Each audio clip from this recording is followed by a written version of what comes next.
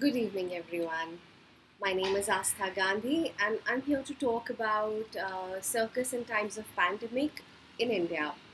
What we have seen in last one year is that uh, digital media has provided artists with additional avenues to create performances. We've seen art festivals and performances going digital, creating new ways to present the body and its performance for the virtual media. However, many of these forms have become more exclusive rather than inclusive, and instead of participatory, have become more self oriented. Pertinent questions to be raised are what happens to the communal experience of art, specifically those of itinerant forms like circus, which derives its very identity from its mobility. Can and can an isolated, self-oriented experience on the screen fulfill the experience of a communal performance like circus. In India, the circus in the recent past has been uh, pushed to the brink with the changing laws, which banned animal performers, and more recently, child performers under the age of 18 years from performing in circuses. The circus itself serves as a training ground, and with no other circus training schools, the child performers and trainees have lost the space as a result, the circus has lost a whole generation of young artists. The ensuing discourse in popular media further escalated the marginalization of circus as well as its artists. The recent major economic policies of demonetization by the current neoliberal government also had an adverse impact as the regular audiences suffered an economic setback, and with the loss of disposable income, uh, it caused many circuses in India to shut shop permanently from 2016 onwards. Uh, so, so why is it important to consider all of this when we talk about uh, circus in times of pandemic? Because uh, the restrictions, the bans were already growing, and, and with the pandemic, the marginalized artists were pushed further to the brink.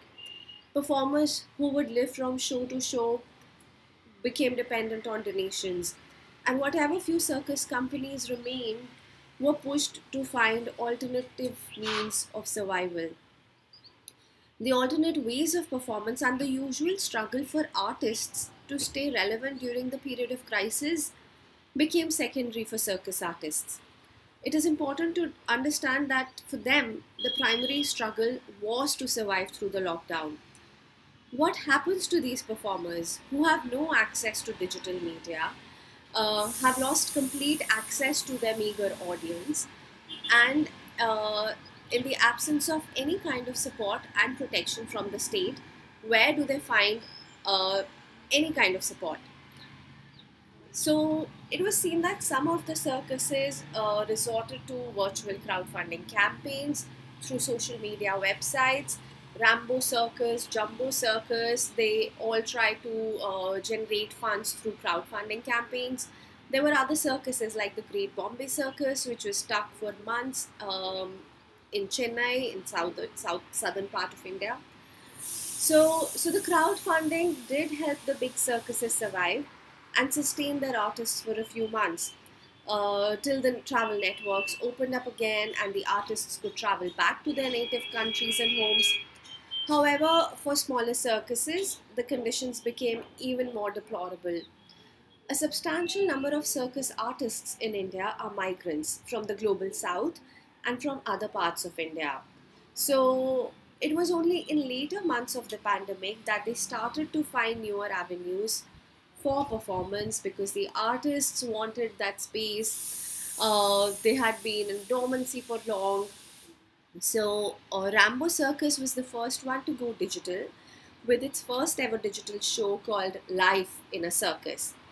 The one hour show had jugglers, contortionists, ribbon dancers, aerialists, silk robe acts, ladder balancers, spinning wheel artists, and along with showcasing the best of these acts, which is offered by mostly Indian artists and also a few African artists who had stayed back.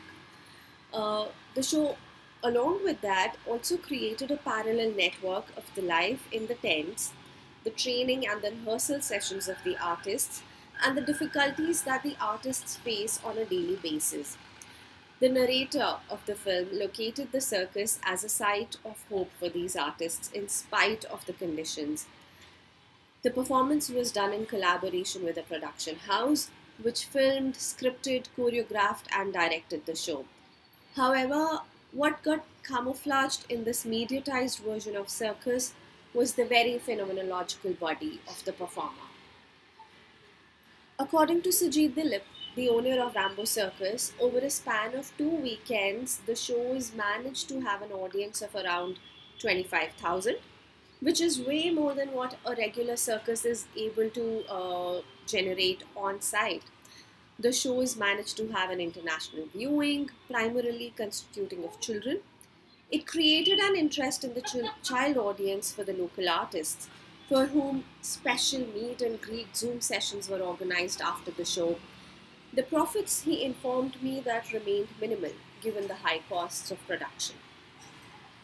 So, the pandemic has forced the Indian circuses to look for newer ways of performance, which so far were still stuck up with the traditional uh, ways, the tent, and uh, the same uh, traditional format. Uh, but along with that, they also had to create different modes of survival. But now, with the new standard operating procedures for theatre spaces, for circuses, uh, circuses are now exploring alternate venues, on site venues of performance as well.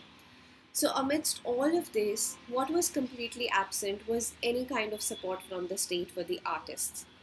The government in India is centered on the functioning of a global neoliberal economy, which will never accommodate culture. Although we have seen in recent past that few nation states have dispersed funds to their artists, the artists in developing countries largely find themselves without any means of survival. The cultural practices like circus, even though were part of the diplomatic program of the welfare state till 1990s, they received only minimal subsidies by the state.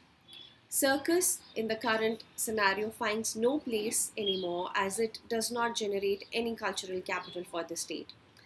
The fundamental question that occupies a neoliberal government is the restoration of the economy to make a decision and a choice between economic revival, which had come to a standstill during the lockdown, and the health of a huge population which is at stake. But what is the place for circus in such regime?